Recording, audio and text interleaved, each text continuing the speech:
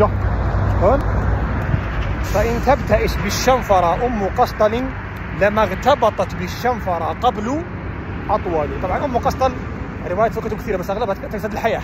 يعني في فيما معناه إذا الحياة انبسطت في آه، جعلي أعاني يتكلم عن نفس الشاعر الشنفرة.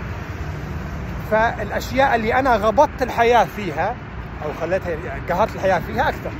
فإن تبتئس بالشنفرة أم قسطل أم قسطل يعني اسم تشبيه للحياة أو لقب الحياة أو الموت. الحياة ثم الموت. لما ارتبطت بالشنفرة قبل أطول أو أكثر. طبق شدة على الحصان. فإن تبتئس فيك الخيل أو الأفراس أو الحصن فوضاء معينة وانت مركز معاه قاعد تصور ما جبت كلمة عندك. خذ شيء معين منك ما كنت مركز. مفروض يكون اللي يرتبط فيه أطول وأكثر. بمعنى أنك الحصان تكون محل تحليل وقت الجد وقت الاختلاف بحيث أنك لو فوت حبة حبتين بعض الأمور هذا فوتها أصلا من صعب تفوتها.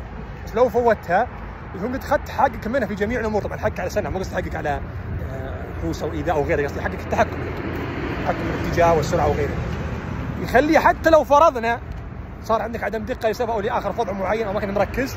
اسوء شيء يسويه يبقى مثالي وزين مقارنة بخير مدرب خطا لكن لما الحصان لسان حاله يقول لك العكس. الحصان يقول لك فإن يبتئس فيني الراكب لما ارتبط فيني الراكب أطول وأكثر. يعني مشيت لهنا وسلكت له لكن في أغلب الأماكن المهمة في الطلعة أنا حايسة. إذا بيت الشنفرة هذا طبقه هو على الحياة وعلى الموت. الراكب الجيد يطبقه على الحصان والراكب السيء الحصان يطبقه عليه.